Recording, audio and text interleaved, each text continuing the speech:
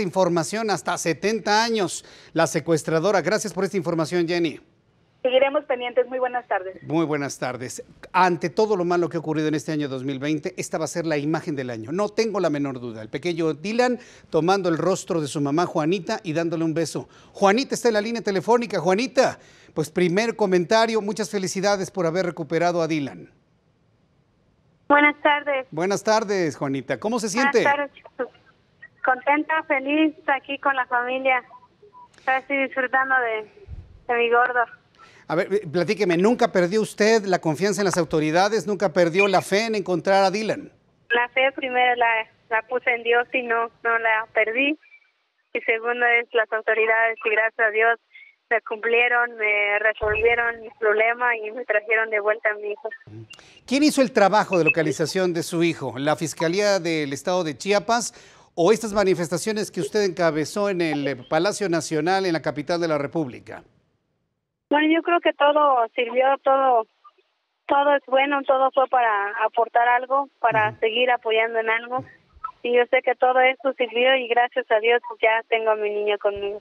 ¿Cómo encontró a Dylan? Es decir, eh, ¿cómo está de salud? ¿Cómo está de su piel? ¿Cómo está su estomaguito, de sus vías respiratorias? ¿Cómo lo encontró, Juanita?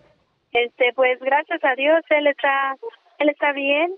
Él ahorita aquí ya llegó aquí a mi casa, está un poco un poco así como que desviado, no entendía el por qué, no entendía que ya ahorita ya estoy ya como dos, tres horas aquí jugando, conociendo ya toda la familia, está muy contento, está feliz, de salud está bien, tiene un poquito tos, pero por el cambio de clima, me tal vez, está bien, él está bien, tiene algunas ronchitas nomás en el cuerpo, cada de zancudos por el clima que donde estaba, pero gracias a Dios hasta ahorita todo bien. Eh, hay una imagen en el momento que usted se presentó ante la fiscalía frente a los medios de comunicación donde Dylan le toma con sus dos manitas su cara y le da un beso. ¿Qué me puede decir sobre ese momento, Juanita?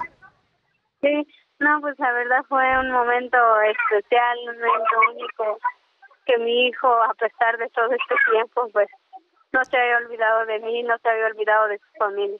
Bien. Juanita, debo decirle que usted se ha convertido en una de las mejores noticias en lo que va del año. De verdad se lo digo. Hemos sufrido tanto en el mundo, tanto en nuestro país, que si el COVID, que si los malos políticos.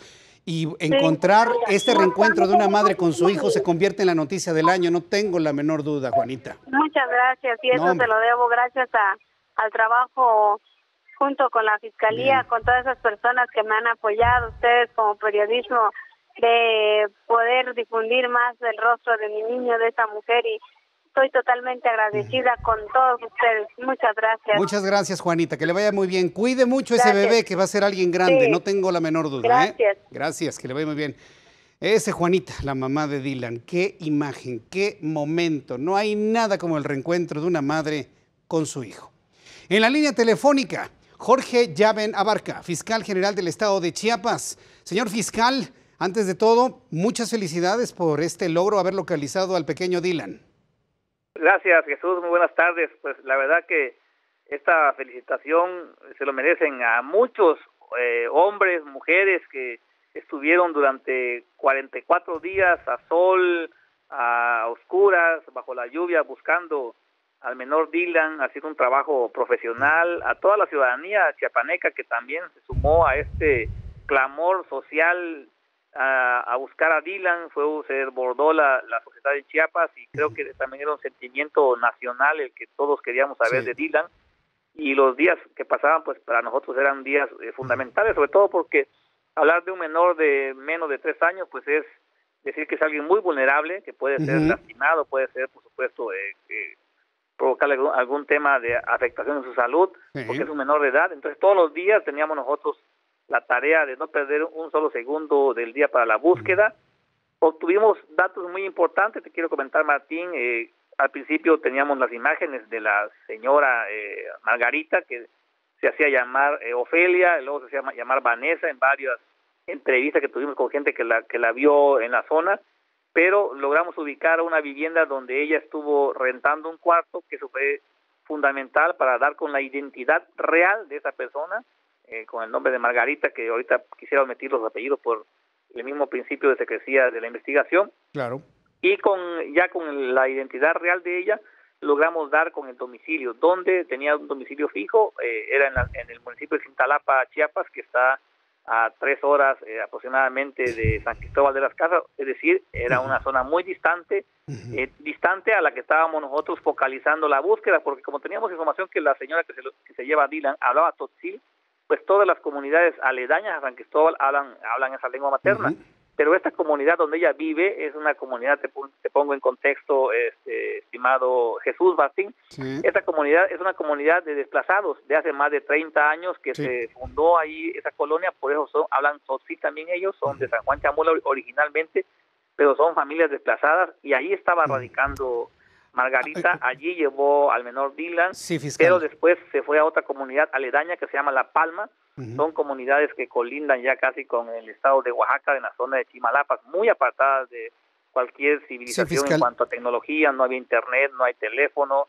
entonces era una zona muy complicada para encontrarlo eh, al menor, sin embargo, con esta información que encontramos ahí en, la vivienda que ella estuvo rentando por espacio de meses, logramos dar con la comunidad, hablamos con autoridades ejidales, nos permitieron, por supuesto, exhibirle la fotografía, sí la reconoce, hablamos con la familia, con hermanas de ellas, este, que nos dicen que no estaba viviendo allí, sino que vivía en otra colonia más adelante, y pues dimos con la casa porque son son colonias muy pequeñas dimos con la vivienda de, de Margarita quien al verse qué buena qué buena investigación realizaron el ¿eh, fiscal perdón que lo interrumpa pero la verdad es que la, investigación está muy completa se concatenaron elementos que los llevaron finalmente a solucionarlo pero eh, como último quiero preguntarle eh, esta mujer que sustrajo al niño Dylan es evidente que por su condición de desplazamiento por la condición personal que vivía por el hecho de no poder tener hijos tiene un impacto emocional que yo no sé qué tanto eso pueda atenuar la pena a la que está enfrentando.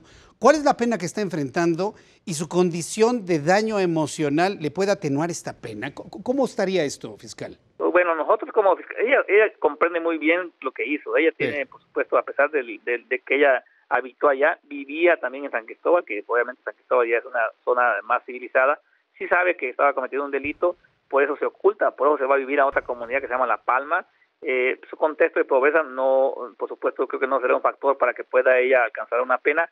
Te digo, el delito aquí de, desaparición forzada de personas entre particulares es de 25 a 50 años, pero cuando es agravado por ser menor de edad, puede incrementarse hasta 75 años de cárcel. Entonces, vamos nosotros a, a, integrar la carpeta de investigación y vamos a judicializar con detenido para que sea el juez quien determine pues la penalidad que va a alcanzar esa, esa, persona. Correcto. Bueno, pues yo le agradezco mucho, fiscal, que me haya tomado la llamada telefónica. Extraordinario lo que ustedes hicieron, de las mejores noticias que hemos escuchado en este 2020 y ojalá así se generalizaran las cosas en todo el país. Muchas gracias por este tiempo, fiscal. un abrazo y buena tarde. Abrazo, que le vaya muy bien. El fiscal de Chiapas hicieron un trabajo extraordinario.